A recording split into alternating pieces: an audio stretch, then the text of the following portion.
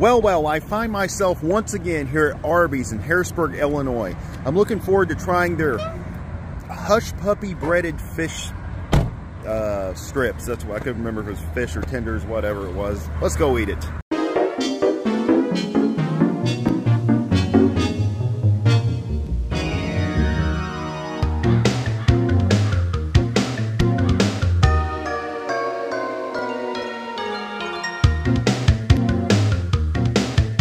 Been a long time, but I did a video in here before. This is a pretty, pretty cool bathroom because it's so big and you lock the door. It's it's meant for one person, but it's so large. There's no stall door or anything. All this space just for you at Harrisburg Arby's. Well, here they are, and they smell good.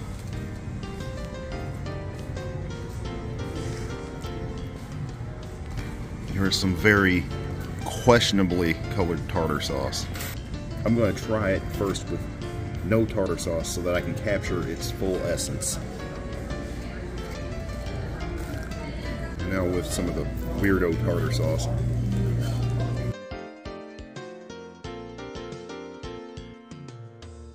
Whoops.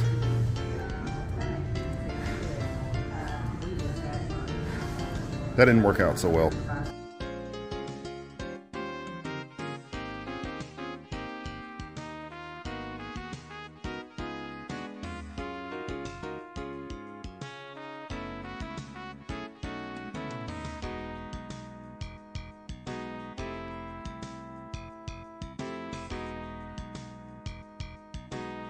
Now I know what all of you are saying. Chad, what's it like? Chad, were they any good? Yes, they were good. I think that the whole hush puppy breading thing is a bit of a gimmick though because it just seemed like fish breading to me. Uh, maybe it kind of tasted like hush puppies vaguely.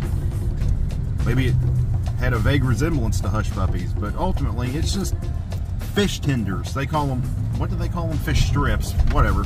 I also enjoyed a half pound roast beef that I couldn't hold with one hand and, and film me talking about it. It, of course, was the typical Arby's roast beef. It was good. I put Arby's sauce and horsey sauce on it. I just realized I forgot to get any shots of the inside of the store. Sometimes I can do that, sometimes I can't. Just depends on the mood and how many people's in these places that I visit. If you like fish, I'd say try these Hush Puppy fish strips because they, they were pretty good. The tartar sauce looked kind of weird. It was like Long John Silver's tartar sauce where it just basically tastes like mayo. There's barely any relish or whatever they use to flavor it up with. With all that said, if you're looking for an Arby's to hit up, the Harrisburg, Illinois one basically never disappoints.